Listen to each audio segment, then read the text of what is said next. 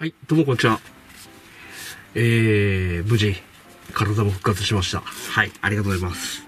はい、それでですね、あのーまあ、インスタグラムとかツイッターにはですね、あのーもうとっくに復活はしてたんですけど、えー、すっごい莫大な膨大な量のね、書類を作成して、そうなんですよ。これ、全部で何台作ったと思いますか？これ6台分の資料を作ったんですけど、トータル、なんと、580枚です。ぶっ飛んでますよね、本当まあでも、いろんなシャーシの書類が完成したんで、まあ皆さんまた楽しみにしていてください。まあ、あとは運輸局と経協会に提出するだけっていう状態になりました。もう1台を出します。で、残り5台は、えー後日ね、出していきます。後日というかもう、この動画を撮った翌日にはもう出すと思います。そう。ちなみにもうすでに書類は運輸局さんへ提出済みです。この段階では。いやー、大阪市内のど真ん中にあるって誰が知ってるんですかね、これ。まあ、とりあえず、これで一段落ですね。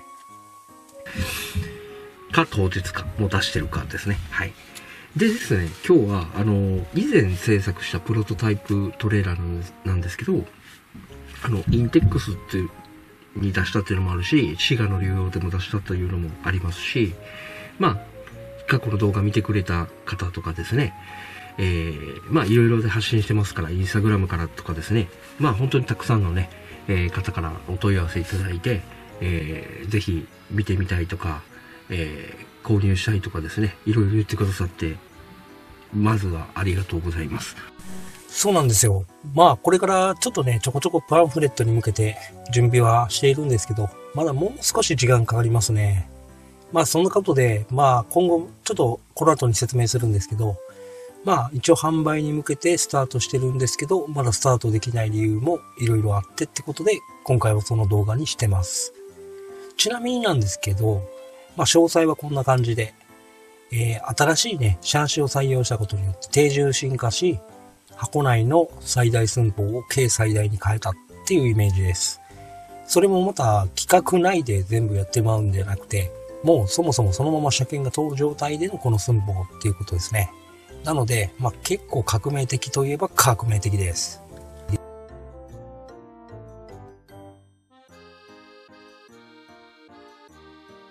で、えっと、まだね、ちょっと販売に至らない経緯というのがね、ありまして、今日はこれをね、説明したいと思います。えっと、実はね、理由は2つあります。2つ。えー、1つ目はですね、えっと、最近あったキャンピングカーの不具合です。あの、うちのではないんですけど、あの、ボディがね、割れたりするというトラブルがあったことがですね、まあ上がってきたときに、えー僕のトレーラーも、あの、クラック入ってたじゃないですか。割れたり、走行テスト重ねるたびにクラックが入ったりとか、まあそういった問題の革新的な部分がね、まだちょっとはっきりとわからないんですよ。あの、補強して修理して治ってるけど、えー結果なんでこういう風に割れたのかっていう予測は立つんですけど、確信が立たないんですよね。なので、えーおそらくこれが原因じゃないかっていうとこ、まあ、例えばドアのとこなんかは骨が薄いですから、骨が薄いし厚みもね、ないから、壊れてなった時にバーンって斜めクラック入ったりとかですね。そういうのを、じゃあ壁を下げて、えー鳥居型に変えて、さらに補強しようとか、まあ、そういう革新的なことが結果として評価で出たら、えー全く問題ないんですけど、今この現段階で販売しちゃうと、おそらくお客さんを泣かしてしまう製品になりそうだなという判断で、えープロトタイプのまま、えーまだ販売まで至ってません。はい。で、続いて二つ目なんですけど、これはもう単純に、今作ってるプロトタイプってボートトレーラーベースになってるんで、高さも。なので、車内高がまあ狭いですよね。ロールーフにしては。あの、車内高がやっぱ1300弱しかないので、まこれでは使ってて不便があるんではないだろうかとか、いうことがあって、今、あの、低床シャーシっていう床の低いシャーシを設計してるんですよね。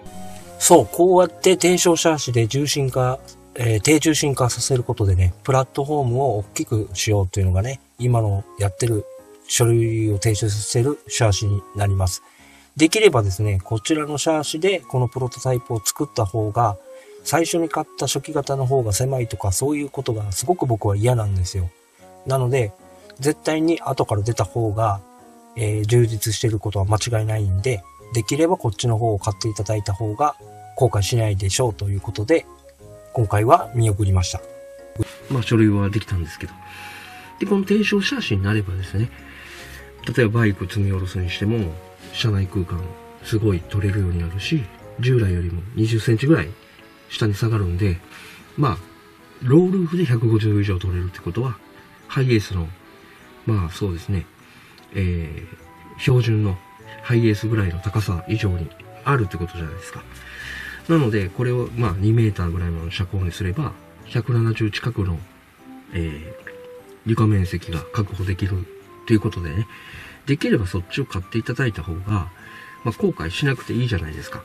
なので、あんまり損はさせたくないというのがまず一つあって、えー、まだ販売に至ってないという感じです。なので、低床チャーシが今度審査合格して、制作できるようになれば、えー、低床チャーシで、今既存のプロトタイプのボディをそのまま移植して、えー、やっていくと。きっとそちらの方が満足度が高いのではないかなと思いまして、えー、こうした経緯になります。まあ、あの、今後はですね、一応あの、近畿運輸局に提出するんですけど、あの、九州でもね、宮崎で提出する予定なんで、まあ、あの、宮崎でも、あそれは変えるようにということで、まあ、今回のお話になります。なので、まあ、プロタイプみたいに、えー、箱型じゃなくてもですね、えー、今やってるのは、なんせ6台、新生を作ってるんで、単軸シャーシとか、コンテナシャーシとか、えー、普通車シャーシとか、とか言ってね、いろいろバリエーションを増やしていきたいなというので、えー、こうした経緯ですね。はい。このシャーシに関してもう自分が一から設計しているので、何かトラブル、リコールがあったら全て自分に乗っかかってくるんですよ。なので、ここで販売を忘れてしまったら、えー、僕はもしかしたら、すごい数の人に迷惑をかける可能性があるので、まあ、こちらもちゃんとテストをして、えー、やってます。で、え従来のトレーラーになかった機能とか、えー、その辺をね、ちょっと説明したいなと思ってたんですけど、えっ、ー、と、多分いろんな人、え、既存のシャーシを、ね、売られてるシャーシを見たことがあると思うんですけど、大体厚みにして1.6とか、まあ、一番多いのは1.6が一番多いと思います。えー、1.6ぐらいの厚みの口型フレームとかですね。まあ、そういうのが多くて、で、自分が今作ってるのは、すべて2.3っていうね、厚みを持たした、えー、フレームにしています。えプラス、あの、ホーシングに関しても、まあ、厚みはちょっとすごいバラバラあるんですけど、中にはホーシングの厚みが2.3というものもあるし、えー、3.2っていうのであったりとかすると思うんですけど、まあ、今回あの、ホーシングも1から全部設計してるんで、そのホーシングの厚みに関してもかなりの厚みを出してます。なので、えー、当時ね、80年代に作られてたバイクを僕自分はイメージしてて、あの頃はあの、オーバークオリティな車両、フレーム、むちゃくちゃ多かったんで、えー、壊れなかったですよね。うん、そうしたものをちょっと目指してて、絶対に壊れないっていうのをね、目指してます。で、一方でですね、やっぱり壊れないと、付属品で稼いでるっていう話も聞いたことあると思うんで、壊れないと利益が上がらないシステムになってしまうんですよね、このままだと。なので、それを、えー、品質を落とすんではなくて、品質を維持したまま、もっと魅力的なオプションをつけ、作ることで、あの、利益は品質を落としてあげるのではなくて、魅力的な製品を作ってあげていくっていう風にシフトしたいなと、えー、思ってます。あの、材料コストケチってね、どんどんどんどん簡素な作りに変えていくほど、えー、確かに組織としての利益は上がるんですけど、あの、協力会社さんに無理させるだけなんですよ、これって。で、この体質が何十年と変わってないのを皆さんももう存じ上げてると思うんで、うん、あの、品質が下がったあたりから、あの、おそらくこの国の経済的なものとか、仕事の単価とか、もうめちゃくちゃ下がってきたと思うんですよ。だから、えーそうならさないように、えー魅力的な製品を増やして、車両の看板となる車両じゃないですか。